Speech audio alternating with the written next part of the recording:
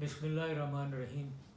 میرے ریزگنیشن کے بارے میں اتنی زیادہ صحیح غلط باتیں پھیلائی جا رہی ہیں کیا سرائیاں ہو رہی ہیں کہ میں نے کیوں ریزائن کیا۔ اس کے بارے میں ساری باتیں حقیقت لوگوں کو پتہ ہے نہیں، تو میں نے سوچا کہ میں اپنے الفاظ میں حقیقت آپ سب کے سامنے، قوم کے سامنے رکھوں۔ سب سے پہلے تو میں یہ بتانا چاہتا ہوں کہ میرا پورا ارادہ تھا کہ میں اس الیکشن میں لڑوں اور پاکستان واپس آؤں اور کورٹس میں بھی پیش ہوں میں۔ ہر کورٹ میں کیسز کا کو فیس کروں میں۔ یہ میرا ارادہ تھا۔ اب اس ارادے کے مطابق میں کام کر رہا تھا، لیکن اس کی کچھ ضروریات تھیں کہ میرا جو ارادہ ہے اس کو اچیو کرنے میں میری کچھ ضروریات تھیں۔ سب سے پہلے تو میں سوچ رہا تھا کہ مجھے لائف بین سے ہٹایا جائے۔ آفٹر آل آصف خواجہ صاحب کو بھی ہٹایا گیا۔ تو اگر وہ ہٹ سکتے ہیں، ان کے بھی لائف بین ہائی کورٹ نے دیا ہوا تھا، مجھے بھی وہی ہے۔ تو میں کیوں نہیں ہٹایا جا سکتا؟ لیکن وہ نہیں ملا مجھے۔ پھر میں نے کہا تھا، مجھے ای سی ایل پہ نہ ڈالیں، کیونکہ میں فریڈم آف موومنٹ مجھے ہونی چاہیے۔ اور نواز شریف جب فریڈم آف موومنٹ ہے، وہ کبھی لنڈن جا رہا ہے، کبھی کہیں جا رہا ہے، اور پاکستان میں ہر طرف پبلک ایڈریسز کر رہا ہے، تو مجھے کیوں نہیں یہ فریڈم آف موومنٹ مل سکتی ہے؟ تیسری بات کہ مجھے اریسٹ نہ کیا جائے۔ تو اریسٹ ججمنٹ یہ تھی کہ جب تک کہ میں کورٹ میں پیش ہوں گا، آپ کو نہیں اریسٹ کیا جائے گا۔ اس کے بعد کیا ہوگا؟ یہ ویگ ہے۔ تو یہ چیزیں میں نے دیکھیں کہ یہ تو میرا جو مین مقصد ہے، وہی فیل ہو رہا ہے۔ اچیو میں نہیں کر سکتا ہوں۔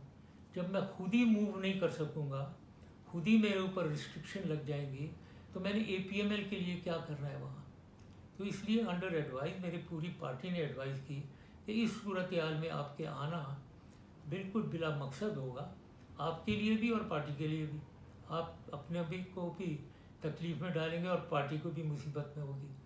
تو اس لیے میں نے فیصلہ کیا کہ مجھے ابھی نہیں آنا چاہیے۔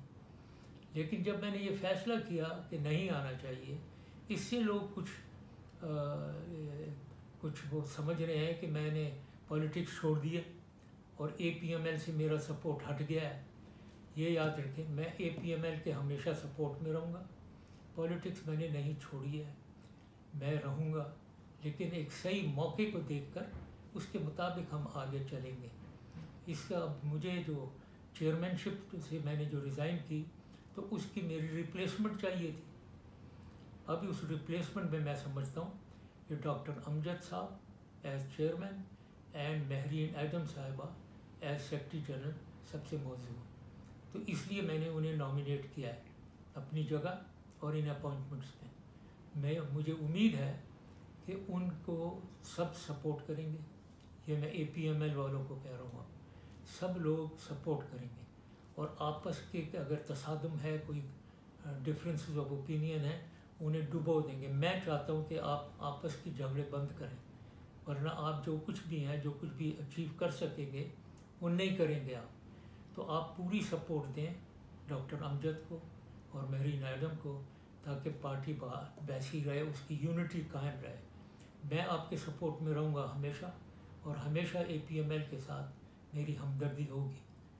اب آگے کا دیکھیں گے ہم کہ کیا کرنا ہے اور کب کرنا ہے۔ ان شاء اللہ تعالیٰ جو جو وقت آ رہا ہے، اس میں بہت سی اپرچونیٹیز بنیں گی۔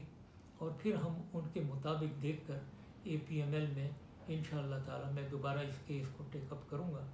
اور بہتری بہتری ہوگی، یہی میں کہہ سکتا ہوں۔ تو یہ ساری چیزیں مجھے لیگل ایڈوائس پہ بتائی گئی ہیں کہ آپ آپ ہٹائے دیے جائیں چیئرمین شپ سے بائی دا کورٹ اس سے بہتر ہے کہ آپ ریزائن کر دیں وچ آئی اگریڈ تو میں نے ریزائن کیا۔ تو اس کو اسی نظریے سے دیکھیں سب۔ اور اے پی ایم ایل والوں کو بھی میں کہتا ہوں پلیز یہ اسی نظریے سے دیکھیں۔ آپ الیکشن لڑیں۔ میری ہمدردی ساری آپ کے ساتھ ہے اور سپورٹ آپ کے ساتھ ہے۔ اور میری دعا یہ ہے کہ آپ اچھے سے اچھا کر سکیں۔ Thank you very much Pakistan پائندہ آباد سب سے پہلے پاکستان۔